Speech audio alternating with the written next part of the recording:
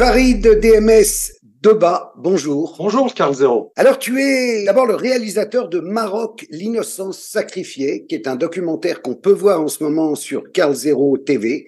صافي من بعد وليت ندخل عليه رجال اخرين تيدخلهم عليا تيدخلهم عليا وتيديروا لي بحالو علاش فاش يدخلهم عليا هو تا تا هو تيشدوه ها باش يشدوني أنا. صافي دخل عليا خمسة. واحد خدام معاه. علاش هو السادس واحد خ... واحد خدام معاه. تا هو دار دار ليا بحال هادشي. فما تيجيب شي واحد تيديروا ليه هادشي عاد باش يديروا ليا أنا. Comme tu dois c'est assez compliqué, c'est euh, très difficile de diffuser ce genre de contenu euh, dans les médias mainstream. Donc euh, vraiment, euh, enfin, en, en, en, tournant ce documentaire, je savais que j'allais avoir des, des difficultés euh, au niveau de la diffusion, mais pas à ce point. Pas à ce point. J'ai senti vraiment une, une sorte de, de, de, de, de chape de plomb, une sorte de non-dit malsain, de, je m'attendais pas à, à, ça. Mais euh, bon, après, il a quand même remporté quelques prix à l'international. En France, il a été diffusé nulle part, à part sur la plateforme. J'allais dire, et... bienvenue au club, Farid. Bienvenue oui. au club. Quand on parle de ça, on n'a que des ennuis. Et, Exactement. Et, et, bien souvent, on n'est même pas pris au sérieux, ce qui est quand même la meilleure, parce que s'il y a un sujet sérieux, s'il en est, c'est celui de la pédocriminalité. Mon ambition en faisant ce, ce documentaire, c'était pas seulement que je m'arrête au Maroc. Parce que le titre, c'est Maroc, l'innocence sacrifiée, mais je voulais faire exactement la même chose pour France, l'innocence sacrifiée, Italie, l'innocence sacrifiée, États-Unis, l'innocence sacrifiée. Voilà, je voulais en faire un, une série documentaire. Malheureusement, pour moi, c'était le pilote. Et lorsque j'ai vu que je me suis ramassé, euh, comme qui dirait, une volée de portes euh, qu'on m'a claqué au nez, je me suis dit, ah, c'est mal barré pour pouvoir euh, continuer à faire d'autres numéros sur, sur cette thématique. Tu as vu des chaînes françaises pour leur proposer de faire cette série ou pas? Oui, oui. Et ils t'ont tous refusé? Oui. Même la diffusion du documentaire, ils ont refusé. Pour quelle raison? Ils ne disent pas. C'est pas dans, c'est pas dans notre ligne éditoriale. Voilà, ça, ça passe bien, ça. C'est pas dans notre ligne éditoriale et, et, et voilà, tout simplement. Donc bon, c'est c'est dommage, c'est dommage parce que euh, ce qu'on fait comme travail, c'est quand même euh, d'intérêt euh, d'intérêt public. on essaye de faire en sorte de, de, de, de, que les gens prennent conscience de ce fléau, de ce problème, et que justement on puisse pro pro protéger nos enfants face à, à ces dangers-là. Donc ne pas être soutenu, bah, c'est un petit peu, je veux pas dire suspect, mais c'est dommage pour tous ceux qui donnent du temps et, et de l'énergie pour, pour cette cause, mais surtout, surtout pour, pour les victimes, qui, elles, apparemment, avec ce genre de choses, cette omerta, euh, ont l'impression de bah, d'être doublement victimes. بالنص الليل هز بنتي ملي مشيت كنقلب لقيت بنتي ملوحه في البيت وبنت اختي ما كبر منها ناعسه وهو ناعس حداها في قلب الدار حنا في الصالون وهو في البيت وتكرفس لي على بنتي فرق عليها الوالده ودابا في الحكم ديالو كيقول دوني اختي اربع شهور باش انا كنمارس معاها C'est un fléau international, au-delà même de la pédophilie euh, perpétrée par un individu, on va l'appeler voilà une personne toute seule dans son coin. Euh, il faut aussi parler des réseaux. Et c'est les réseaux, c'est un petit peu là-dessus que justement il y a un gros gros travail euh, à faire. Mais comme tu le dis, à partir du moment où on parle de réseaux, euh, avec des pratiques un petit peu douteuses qui peuvent paraître euh, farfelues pour certains, parce que véritablement ça ça, ça relève de, de, l'impensable, de, de, des choses qu'on ne peut même pas imaginer ou envisager, bah on est taxé de ouais, de délirant, de voilà, euh, c'est un petit peu, c'est un petit peu problématique. D'ailleurs, c'est pour ça, je fais une petite aparté, que euh, je voulais te présenter euh, euh, Ayoub, donc le père de deux enfants euh, marocains qui qui va témoigner juste après. D'ailleurs, je te remercie vraiment de lui donner la, la parole, justement, qui va parler de ces de ces réseaux dont ont été victimes ces enfants pendant plusieurs années. Et, et c'est incroyable. Mais je pense que ces, réseaux-là ne sont pas propres au Maroc. Au contraire, c'est euh, vraiment une, tentacule à l'échelle euh, internationale. Mais malheureusement, on va prendre les victimes euh, dans les pays les plus les plus fragiles. Je ne veux pas dire que le Maroc est un pays fragile, mais en France, par exemple, à mon avis, il y a beaucoup d'enfants qui rentrent dans ces réseaux parce que le pays est fragile au niveau de l'application des peines. Pas seulement l'application, on va dire au niveau des condamnations. Voilà, donc c'est euh, c'est un gros un gros souci. Mais il y a aussi un autre problème en, en, au Maroc d'ailleurs. Euh, je pense que ça rejoindra le témoignage de Ayoub tout à l'heure. Euh, c'est que euh, il y a aussi une sorte de superstition par rapport, je ne sais pas, tu as dû en entendre parler des enfants zouris voilà, qui sont des enfants avec des particularités euh, euh, physiques, peut-être sanguines. Enfin bon, après ça c'est euh, c'est de la superstition pour moi, mais on va dire que ils attirent l'attention et euh, ils sont très prisés en, au Maroc ainsi qu'en Algérie euh, pour pour des rituels, pour pour des choses complètement, euh, enfin qui dépasse l'entendement. Donc c'est aussi ça qui rajoute à la problématique de la pédophilie pure dans l'acte, je vais dire, euh, criminel qui, qui en soit, parce que là, ça va directement euh, à la, au sacrifice.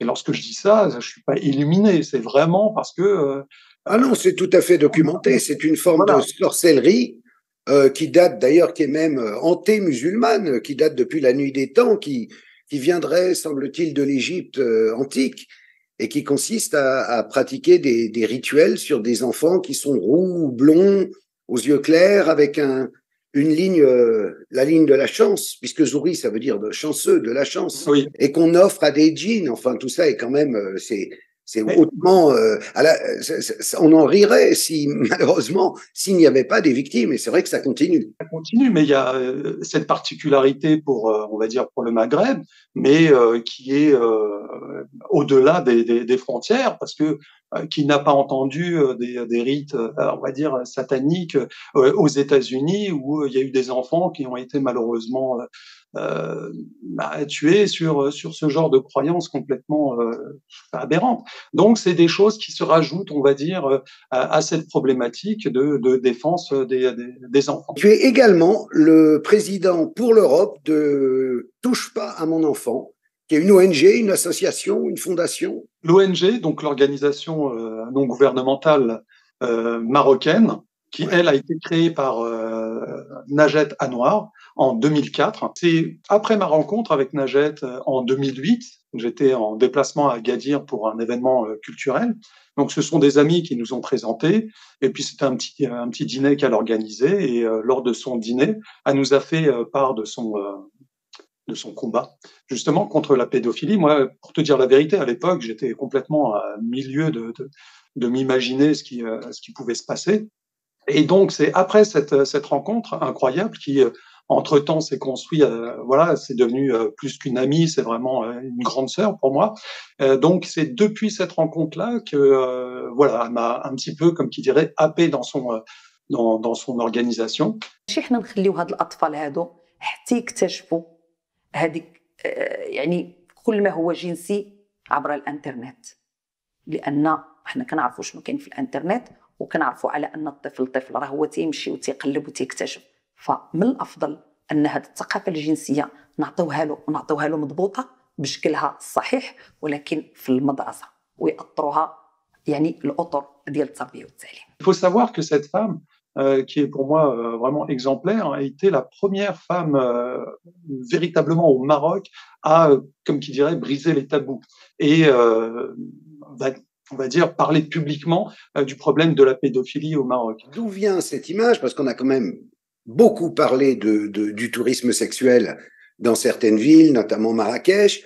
On a même évoqué, souviens-toi, des ministres français. Il y a deux noms qui viennent à l'esprit de tout le monde quand on parle de ces affaires et qui à chaque fois ont été sortis par la police, secrète ou pas, mais enfin ont été sortis de, l'affaire par le Maroc, euh, comme si le Maroc marchait sur des, sur œufs vis-à-vis de, de hautes personnalités françaises, et comme si finalement au Maroc on tolérait ça. C'est pas vrai ou c'est vrai? Non, c'est pas vrai. Je peux pas, sincèrement, euh, le, Maroc tolère pas ça, et je pense pas que au niveau du, euh, je parle, je vais pas parler du gouvernement, mais je pense plus au niveau du roi. Euh, je pense que, au contraire, Bien au contraire, c'est une, euh, je veux pas prendre cette analogie, mais une épine qu'il aimerait bien retirer de son pied.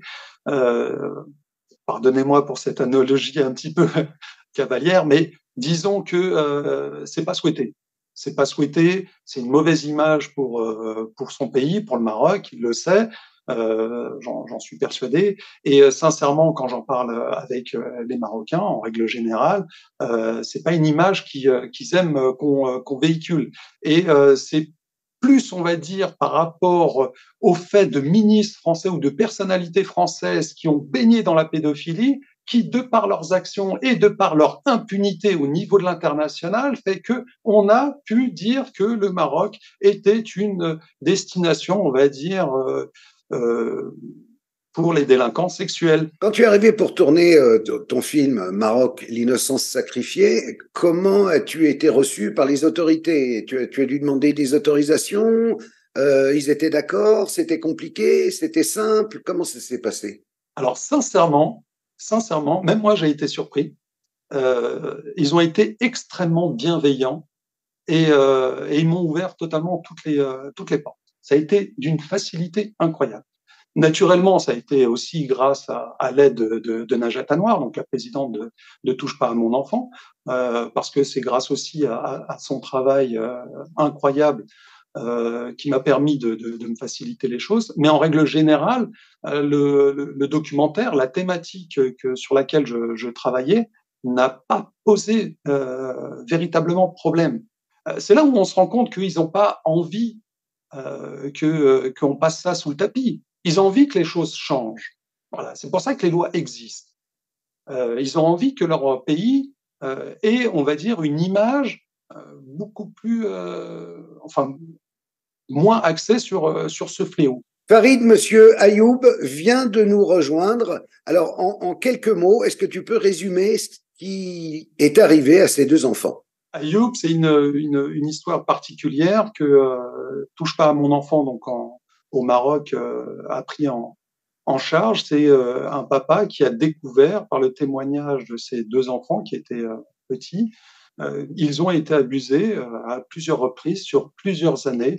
Par des amis de, de, de, leur mère. Donc au moment où, où Ayoub était était pas dans le domicile conjugal, familial, lorsqu'il travaillait euh, euh, en dehors de, de, la ville, bah, apparemment la, la, mère organisait des, euh, des parties fines avec des adultes et les adultes justement abusaient de ses enfants. Mais au-delà de ça, il semblerait que les enfants ont été témoins de, de rites un petit peu bizarres, on va dire des rites sataniques.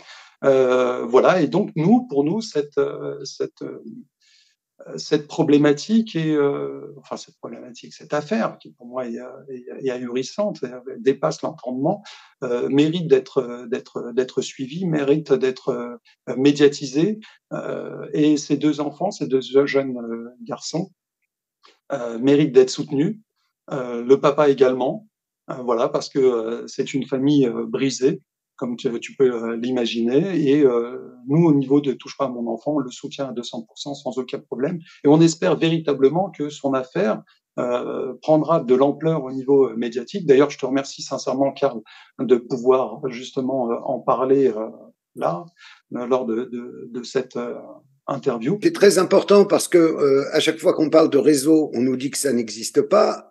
Et quand on parle en plus de pratiques sataniques, on nous dit que ça n'existe pas. Et là, Monsieur Ayoub est là pour témoigner du contraire, puisqu'il s'agit de ses propres enfants. On va lui donner la parole. Monsieur Ayoub, bonjour. Bonjour, Monsieur Karl. Bonjour, Monsieur Farid. Là, si j'ai bien compris, vous êtes en appel contre les prédateurs de vos deux enfants qui précédemment ont été condamnés, mais pas à des peines qui vous paraissent suffisantes. Est-ce qu'on peut déjà rappeler les faits, ce qu'ils ont fait endurer pendant des années à vos deux petits-enfants Mes deux enfants m'ont raconté des, choses que je ne croyais pas au début parce que avant, ils m'ont parlé de, des gens qui faisaient des danses. Pour eux, les danses, c'était des, orgies, des, des, des possessions, des, faisaient des, sexes euh, hommes entre hommes, femmes entre, entre femmes. Ça, je n'ai pas compris, moi. Avant, ils appelaient ça comme des danses. En arabe, c'est comme euh, des appellations pour les dessins animés. Il me, me disait, c'est la danse du lapin, euh, la danse du râteau, euh, la position de l'araignée, etc. Euh, j'ai compris qu'il y avait de l'adultère, euh, des, des, orgies. Il me parlait aussi de, des d'opérations de trafic de drogue. Donc j'ai déposé la, la plainte, c'était la première plainte, je l'ai déposée le 24 août 2020. Donc euh, j'ai laissé mes enfants ici parce que j'habite à Nadour et les faits se sont déroulés euh, à Tanger et aux environs. Donc je suis retourné, Monsieur Karl, j'ai pris mon enfant euh, qui avait à l'époque 8 ans et son, son, petit frère qui avait 6 ans. Je lui ai demandé pourquoi vous ne m'avez pas dit tout ça au début. Il m'a dit, j'avais peur pour toi, papa, j'ai été menacé avec une arme. Donc ça a commencé avec la menace avec une arme. Donc j'ai décidé de, de, ramener mon enfant chez un psychologue qui m'a confirmé que mon enfant souffrait d'angoisse et nécessitait un, suivi, un suivi psychologique. À partir de ce moment, à chaque fois que je ramenais les deux enfants chez la psychologue, elle me, elle me racontait des trucs euh, bizarres. Il me disait, il me disait, papa, tu, tu sais, maman, il mangeait des excréments. maman, il faisait ça, il faisait ça, des trucs que je je comprenais pas.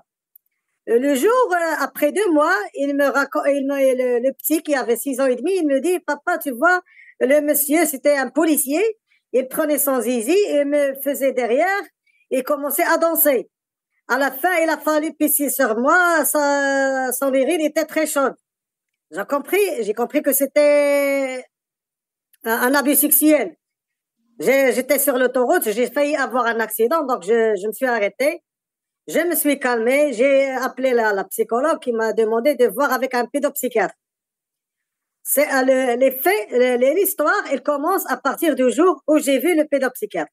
Parce que le pédopsychiatre, sur son rapport que j'ai envoyé à M. Farid, il me confirme que les enfants, ils ont été victimes d'abus sexuels pendant plusieurs mois et qu'ils étaient menacés et qu'ils avaient peur pour la vie de leur père et de, de, leur frère. Donc, euh, après, j'ai déposé une plainte à, Tanger, mais ça, c'est une histoire. Donc, je, suis un peu vos, reportages. À Tanger, la personne qui était responsable de, la, de l'affaire, c'est pire. Alors, je vous donne un exemple. Il commence à poser des questions futiles et banales qui n'ont rien à voir avec les agressions sexuelles. Puis il sort pour, euh, pour se laver, pour faire la prière, et il nous dit, attendez, vous allez sortir, on a une, intervention, je vais revenir. Donc l'enfant, il ne pouvait pas répondre. Donc il a pris quelques questions, quelques réponses, et après on est parti. Avec le temps, les enfants, ils me disent, papa, les gens, ils, ils, mélangeaient des excréments, de l'urine, du sang, et qu'ils mangeaient. Donc, euh, pour eux, l'urine, moi j'ai compris avec le temps, ils me disaient l'urine, c'est, il avait une couleur semblable à celle du lait. Donc j'ai compris que c'était du sperme. Donc euh, en posant des questions aux enfants, et ils me racontent que les gens se, faisaient entailler le bras. Il y, il y avait plus d'une douzaine d'hommes et femmes. Ils s'entaillaient les bras, ils prenaient le sang qu'ils mettaient dans, le, dans les bouteilles en plastique, ils mélangeaient ça avec les excréments euh, donc euh, avec les excréments et, les spermes. Euh, les enfants, ils, me disaient, ils, urinaient dans des ballons. Alors c'était des préservatifs. Donc ils, ils me mélangeaient tout ça, ils me le mettaient dans, dans, un, dans un seau, un grand seau métallique. Puis ils, prenaient chacun un petit seau, ou bien à partir du grand seau, ils buvaient ce mélange-là avec des pailles. Euh, il me disait, je vais vous raconter, je vais vous dire quelques. Et il, me disait que les, que les gens, ils avaient des, des chaises roulantes euh, avec euh, comme une sorte de toilette. Ils avaient, ils avaient six chaises. Ils, ils, faisaient leurs besoins dans ces chaises-là. Et après, ils mélangeaient, ils, mangeaient ça. Ils faisaient des prières, la prière dans la toilette. Euh, ils, partaient par binôme. Il y avait des, un homme, une femme.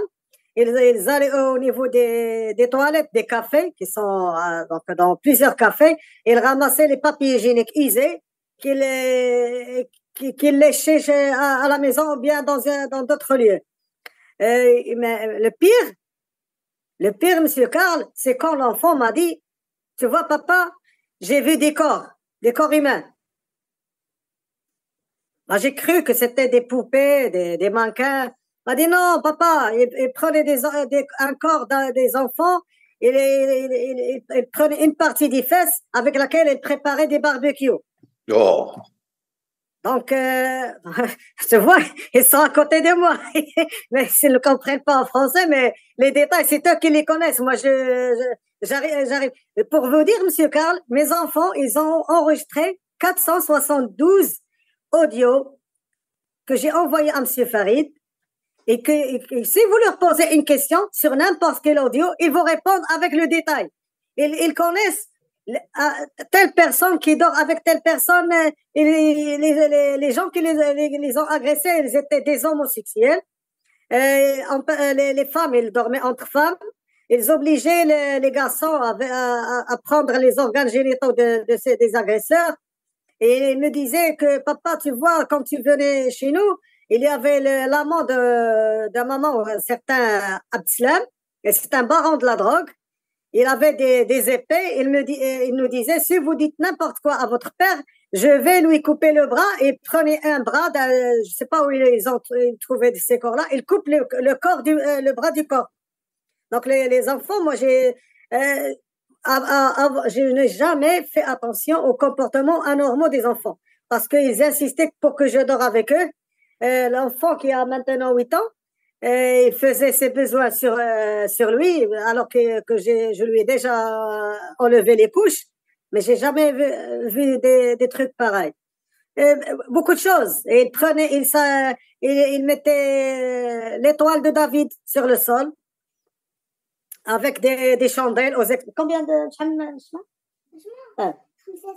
cinq six chandelles qu'il mettait aux extrémités.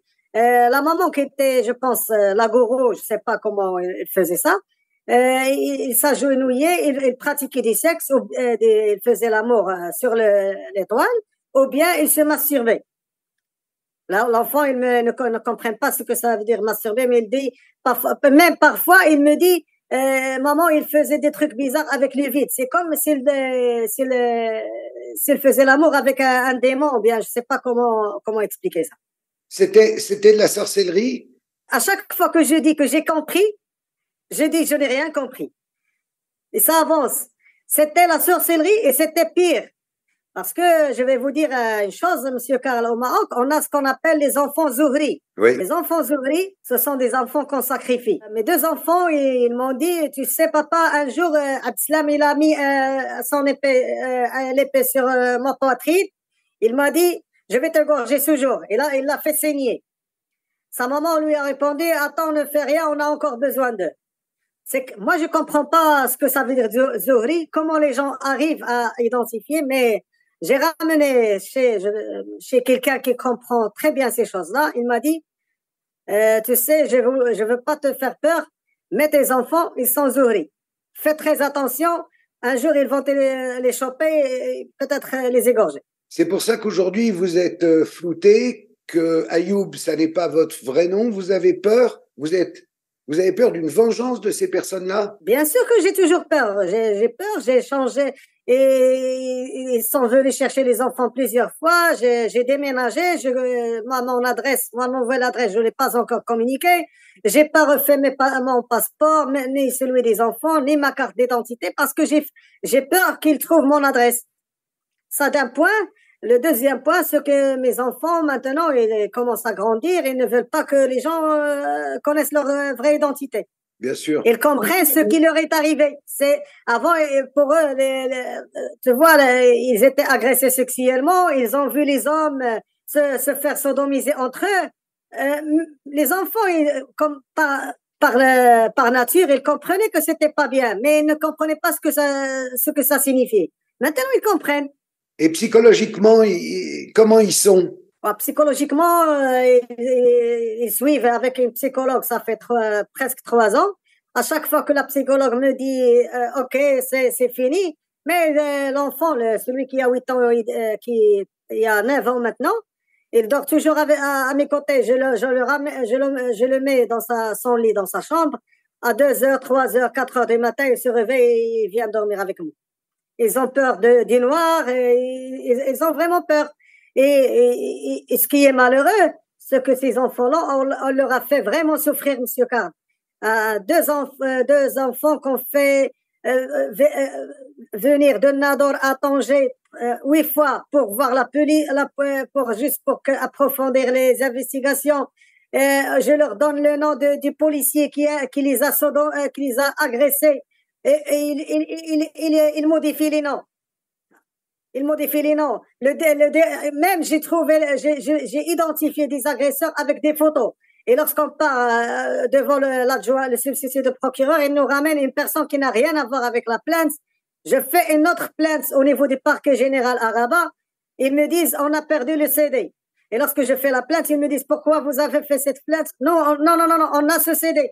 Donc, c'est, c'est une complaisance, c'est une connivence entre plusieurs personnes parce que les, les gens de la drogue, ils sont très, tellement puissants et surtout avec euh, le, principal suspect qui est Abslam, qui, qui est en, en, en, fuite, en délai de fuite. Je ne sais pas comment ils ont fait pour, pour le laisser échapper. En principe, c'est quelqu'un agresse un enfant et que l'enfant l'identifie avec trois ou quatre présentations devant le procureur, il doit être mis à arrêt, en garde à vue. Alors, que je vous raconte la, la petite histoire de ce Abslam. Il y avait un, un, suspect que les policiers n'ont pas ramené au, début. Donc, ils l'ont mis avec euh, plusieurs personnes dans un dans une chambre derrière euh, euh, derrière des vitres. Et les enfants, on l'identifié de premier coup. Le problème, c'est qu'en arrivant au sein de la préfecture de police, le, le Abdeslam, ce baron de la drogue, il était avec l'officier chargé de l'affaire. Qu'est-ce qu'il faisait? Comment il a su que les enfants ont pu identifier l'agresseur Le lendemain, il ne s'est plus présenté au tribunal. Farid, tu veux intervenir? Oui, justement, j'aimerais bien que euh, Ayoub puisse nous euh, parler euh, de euh, ces rendez-vous justement dans cette fameuse ferme, mais surtout qu'il puisse décrire, enfin, les enfants qui lui ont raconté euh, les faits dans cette fameuse ferme, et surtout, surtout les gens qui fréquentaient cette ferme-là.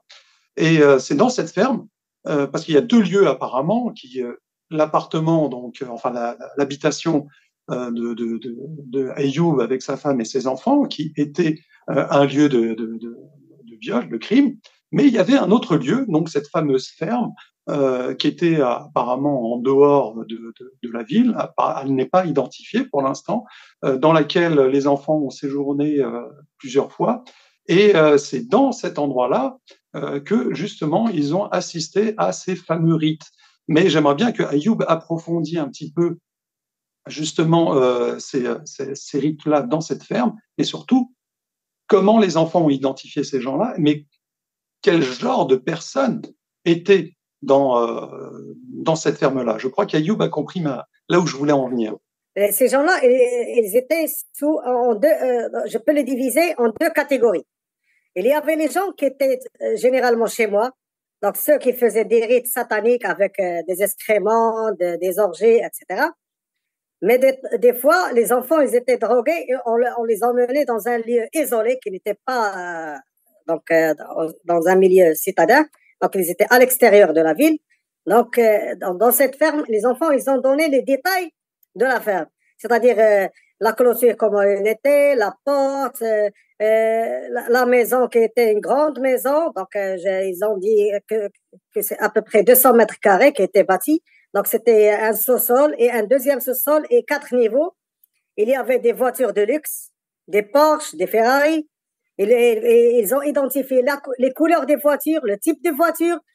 Et en sous-sol, ils avaient des voitures et ils avaient des frigos où il y avait des, des parties de corps humains. Donc il y avait des corps humains et ils ont, ils ont une grande salle euh, informatique vitrée qui était peinte en blanc. ils avaient des, des caméras. Donc, euh, pour, euh, pour rappel, les enfants, ils étaient filmés. À chaque fois que les, les agresseurs abusaient des enfants, ceux-ci utilisaient un, un, téléphone portable et un appareil. Et c'était toujours le même téléphone et, le même appareil. Donc, ils n'utilisaient pas plusieurs appareils.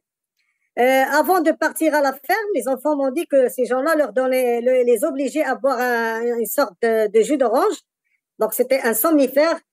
Les enfants ne, euh, étaient endormis à partir de Tanger et lorsqu'ils arrivaient à la ferme, ils étaient, ils se réveillaient. Là, dans la ferme, c'était toujours la même chose. C'est des, orgies, la drogue, euh, le, sexe, les corps humains. Donc, il sacrifiait des corps humains. Parfois, il sacrifiait des chevaux. Donc, il ramenait un chevaux qu'il mettait dans, sur un étal et qu'il égorgeait et qu'il mangeait. C'est là où ils ont vu les barbecues avec euh, de la chair humaine. Euh, il, fait, parfois, ils avaient une sorte de tente. Ils, ils restaient dehors dans des tentes, des petites tentes par binôme, c'est-à-dire un homme, une femme ou bien deux hommes. Et ils se prosternaient devant la lune avec des périodes bien déterminées. C'est quoi, quoi encore? Hein? Oui, oui. Le, le, pire, c'est qu'ils qu s'entraînaient à utiliser des armes à feu. Donc, euh, pour, euh, pour, euh, que M. Karl et vous, M. Farid, soyez au courant, j'ai fait une autre plainte après la fin des investigations. Donc, mes enfants, ils ont été entendus par la Brigade nationale de la police judiciaire à Casa pendant trois jours. Et c'est, M. Farid, vous savez ce que ça veut dire, la Brigade nationale de la police judiciaire. Donc, c'est même moi qui est un adulte, si je mens, ils peuvent tout, de suite le découvrir. Donc, mais les enfants, ils sont restés trois jours. Ils ont confié, les enfants, ils étaient, ils n'ont changé aucun mot. Donc, tout ce que je, vous raconte, et, surtout les quatre, sur les 472 audios, les enfants, ils ont tout expliqué avec le détail. Mais ce qui, ce qui nous ramène aux investigations de M. Karl, c'est que les, les enfants, ils ont vu des gens masqués. Des gens masqués avec des capes et des couleurs bien identifiées.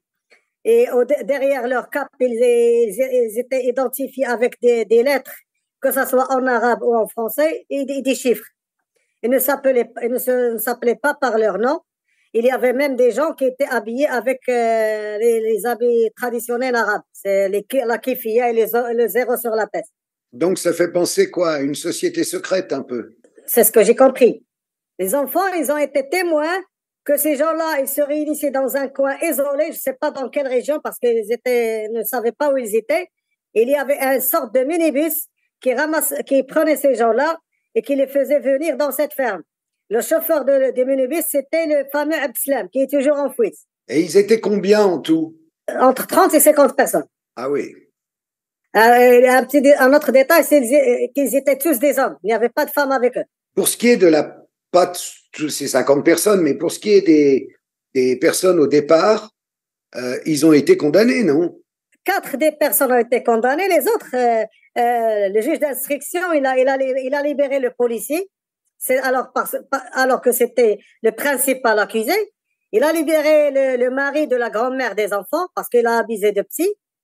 Et là, ils n'ont pas, ils n'ont pas fait appel à d'autres suspects qu'on a identifiés. Euh, il y a les gens, ils, ont nié au début, ils ont nié qu'ils se connaissaient entre eux. Ils ont dit que aucun ne connaissait l'autre. Il y avait un témoin, une femme, qui a pu, qui a témoigné que ces gens-là se connaissaient entre eux et qu'il y avait une relation entre eux. Là, c'était, ce témoin-là, c'est, il, a, il est mort juste après avoir euh, mis un, un, bébé au monde. C'était le 17 février 2022. Mais je doute fort que cette femme-là soit tuée parce que sa mère, elle a voulu euh, avoir le rapport d'autopsie de, de médecin à Tanger. On lui a rien donné. Et, et, ça reste un point d'interrogation. Est-ce qu'elle a été tuée? Est-ce qu'elle est morte, par, euh, morte naturellement? Personne n'a cherché à savoir. Aujourd'hui, vous faites appel? Oui, je fais appel. Toujours contre ces personnes-là ou vous voulez que on entende à nouveau le policier et tous les autres? Chaque fois, le, on, on, reporte, on reporte parce que le, le policier ne, ne, vient pas au tribunal. Mais la, la partie adverse, il essaie d'embrouiller de, l'affaire et, de, de, et, de, me dire que ça, c'est ce faisant, on a 11 ou 12 personnes, pourquoi faire euh, euh, venir le policier? Autre point, Monsieur Karl, c'est que le juge d'instruction, euh, moi j'ai déposé plainte contre 15 personnes. Il a pris 6 ou 8 des personnes que j'ai accusées d'avoir abusé ou bien assisté aux, aux, abus contre mes enfants et les a fait comme témoins. J'ai jamais vu un témoin, un accusé devenir témoin. Ça veut dire qu'il y a une forme de, de laxisme et de protection au sein de la justice, comme on le voit d'ailleurs également en France. Le pire, nous, ils, ont, ils nous, ont appelé, euh, nous ont appelé le, le, 5 avril 2021 pour que les enfants puissent identifier les agresseurs et les confronter. Donc, ils, les ont, ils ont confronté leur mère, leur grand-mère, euh, la bande qui était, qui faisait partie de la bande, euh, le, le, baron de la drogue, et, une autre personne, c'est, un entrepreneur qui aussi faisait partie de, qui, qui a agressé mes deux enfants. On est, la, loi marocaine stipule que lorsque vous, vous confrontez ces gens-là au, au, niveau de la police judiciaire, le lendemain, on vous présente chez le procureur. Alors moi, on a été présenté le 5 avril. J'ai attendu avril, mai, juin, juillet, jusqu'à soit, soit parti au tribunal de Tanger. Le mois de novembre, ils m'ont dit non, non, on attend de trouver un certain Rachid Moutlamot. Si vous voulez, si vous voulez qu'on les présente, qu'on les diffère, on va les différer le mois 11. C'est une sorte de laxisme que j'ai jamais vu ni, ni, lu ni entendu ailleurs. Euh, ça reflète bien un petit peu ce que, euh, que j'avais dit euh, au départ, c'est-à-dire que les lois existent, mais ensuite c'est le bon vouloir des, des, euh, des gens qui, euh, qui investiguent et puis ensuite qui jugent derrière, qui posent problème. Au-delà de ça, c'est aussi y a une, problématique que je relève aussi dans, dans, dans mon documentaire, c'est le fait de ramener à chaque fois les enfants euh, lors de, des investigations, toujours, et c'est une torture. C'est-à-dire un enfant, il, a, il, est traumatisé déjà par, par ce qu'il a vécu, mais lorsque il y a investigation au niveau de la police, notamment les huit allers-retours dont Ayoub a parlé, plus les, trois jours euh, à Casablanca, euh, prouve bien que comme quoi euh, on ne peut pas faire subir ça à des enfants euh, de, cet âge-là. C'est pas des adultes.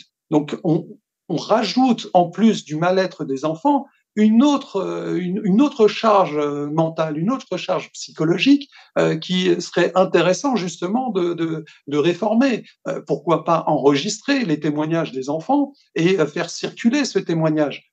Euh, et s'il y a besoin de, de, de, de, précision sur les questions, eh bien les préparer après avoir visionné, fait visionner à, à l'ensemble du, du, circuit euh, euh, d'investigation et, et, de justice euh, les vidéos. Et si à partir de ça ils, ont des points supplémentaires, eh ben on rappelle une deuxième fois l'enfant euh, pour euh, s'exprimer encore devant la caméra et on s'arrête là. Mais là ça devient ça devient du délire huit fois pour de, on entend les enfants, plus trois jours de, de, de, d'investigation, enfin derrière d'interrogatoire, je veux dire, c'est c'est impensable.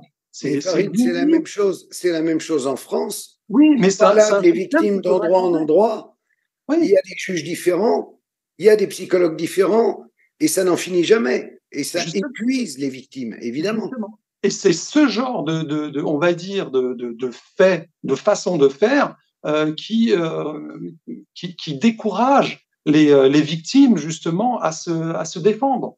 Parce qu'on a l'impression que ce genre de, parcours du combattant est euh, mis délibérément en place pour décourager les plus fragiles déjà ils sont fragilisés par, euh, par, par leur statut de victime, mais en plus de ça, on leur met encore la tête sous l'eau avec un process complètement euh, effarant. Donc c'est là-dessus qu'il faudrait euh, réformer euh, le, le, le, système justement de, de, de, de prise de témoignage des victimes au Maroc, comme tu l'as si bien dit, en France également. Monsieur Ayoub n'est pas découragé du tout, il va aller au bout, je le sens. C'est pas huit fois, Monsieur Karl.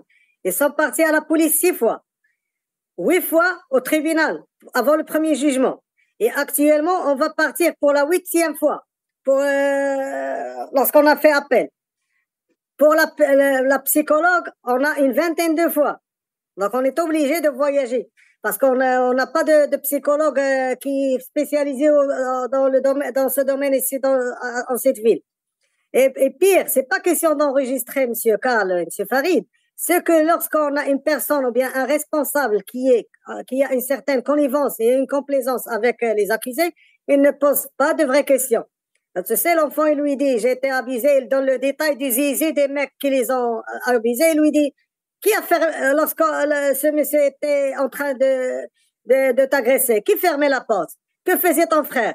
Et qu'est-ce qu'il regardait à la télé? Et, et après, il lui dit, mais qui descendait ouvrir la porte? Mais qui fermait la porte? Du moment qu'il sent que l'enfant donne les détails et donne des, des, réponses qui sont claires et bien définies, Il ne pose pas les vraies questions ou bien les questions qui, qui sont objectives, qui cherchent à trouver, à, à, à, confirmer l'abus sexuel ou bien les agissements euh, autres.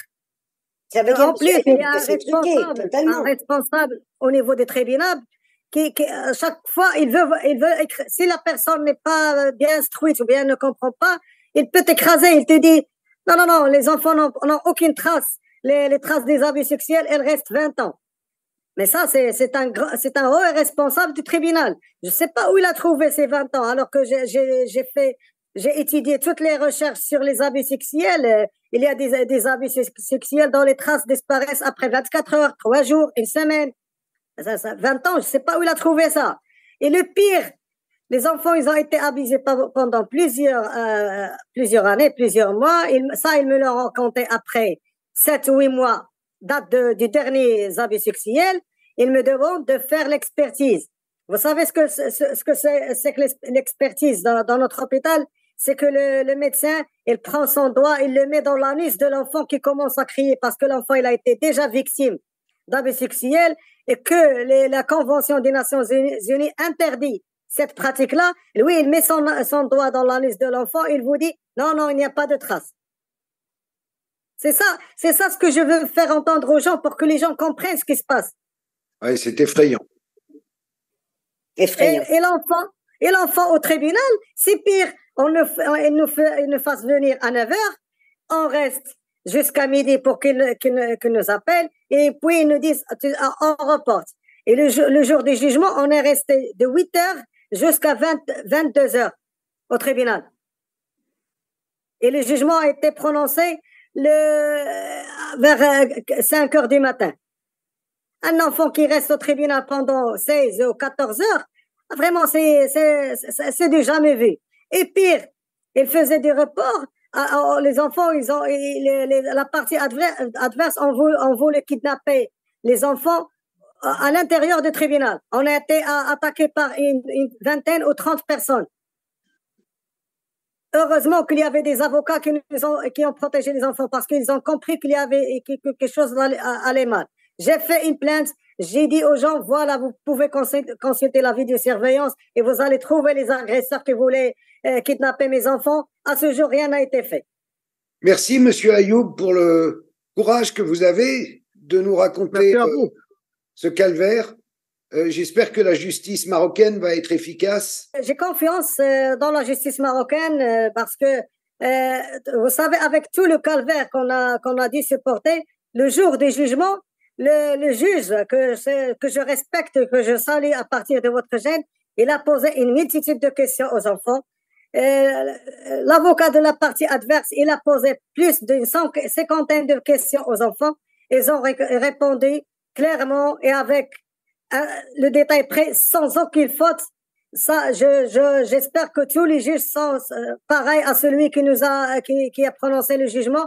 Même si c'est pareil que le jugement était insuffisant, mais c'est pas ça, de sa faute, c'est, c'est pas là pour le défendre, mais c'est la faute aux gens qui ont fait les investigations, les recherches depuis le début. Farid, le mot de la fin? Oui, déjà, le mot de la fin sera évidemment pour, euh, pour ces deux petits anges, euh, que je, que je salue, que j'embrasse de tout mon cœur, euh, ils ont mon soutien. Euh, il faut pas les oublier, il faut les soutenir. J'espère qu'à travers ce, ce témoignage euh, euh sur ta chaîne, euh, Karl, il y aura un élan de, de, de, soutien pour Ayoub et pour ces deux petits, ces deux petits anges, parce que sincèrement, à travers cette, ce, ce, témoignage, il y a une multitude malheureusement d'autres affaires qui restent dans l'ombre. Mais bon, on peut pas me faire la lumière sur toutes ces affaires. Donc, euh, soutenir celle-là, déjà, ça sera, comme qui dirait, euh, montrer qu'on reste pas insensible à ce genre de situation, à ce fléau euh, qui, qui gangrène tous les pays dans le monde. C'est pas spécifique au Maroc, comme j'ai pu le, dire à plusieurs reprises. Et, merci en tout cas, une nouvelle fois, Karl, pour, pour donner la parole aux victimes, donner la parole à ceux qui essayent d'œuvrer pour euh, justement euh, mettre en lumière ces, ces, ces, situations. Et merci encore euh, pour ta plateforme et pour ton courage, pour la diffusion de, de, de, de tous ces films, ces reportages, ces interviews qui, dénoncent, qui dénoncent véritablement ce, ce, ce fléau qui est la, la pédocriminalité, la pédophilie. Et je remercie également Ayoub, courage à lui, courage à sa famille, qui se reconstruisent tous les trois bien comme il faut. Et je remercie le petit mot de, de, de, la fin, je remercie Najat Anwar, donc la présidente de Touche pas à, enfant, à mon enfant, qui œuvre, elle, vraiment incroyablement bien euh, au Maroc et qui essaye vraiment de faire bouger les lignes et de changer les mentalités. C'est pas facile, c'est très compliqué à s'y attendre tous les jours. Et euh, j'espère que euh, par rapport aussi à, à, à ce report, enfin cette interview, on pourra lui témoigner euh, beaucoup de respect, beaucoup de, de, de, courage, parce que grâce à son travail, sur euh, plusieurs années, elle a réussi à, à, faire changer un petit peu, à faire évoluer, on va dire, les mentalités au Maroc, et surtout à secourir énormément, énormément de victimes. Mais c'est pas fini, il y a beaucoup trop de victimes et pas assez, malheureusement, de moyens mis à disposition pour que ces, euh, cette ONG puisse travailler convenablement. Donc, euh, courage à, à, ma sœur Najette et euh, courage à toutes les victimes. Merci encore, Karl. Merci à You et euh, bisous aux enfants. Merci à tous. Merci.